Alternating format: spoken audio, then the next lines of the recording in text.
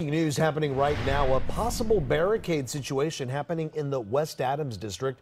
As you see there from our Sky 9 photos, police are on the scene at a Burger King on Crenshaw and West Jefferson Boulevards. Yeah, it's unclear right now if there's anyone else inside other than the suspect, but you can see just, I, we're just seeing two of the uh, LAPD mm -hmm. uh, cop cars outside of the restaurant, which is a little odd, but kind of the cluster of the officers standing maybe further back just as they take those precautions with this, uh, whatever we know at this point, mm -hmm. a man mm-hmm. barricaded inside of this fast food restaurant. I'm not sure if he's armed how long he's been inside of there, or again, like you said, like we mentioned, if mm -hmm. anyone else is there. And look at that, Jasmine, if they're even trying to locate him. The uh, police chopper looks like it's above the Burger King right now, flashing their night sun on on the restaurant. And hmm. look at the stance of the uh, officers behind the police car. I'm not sure from this distance. Looks like they're just standing there, right? Right, and it, they haven't really taken, as far as we can tell, a defensive, mm -hmm. you know, posture here with the restaurant still further in front of them. But it doesn't look like many customers milling around either. So, and then you yep. can see in the back behind the fast food restaurant maybe some more officers, some with yeah, the flashlight searching focusing through cars. on that car. Yeah.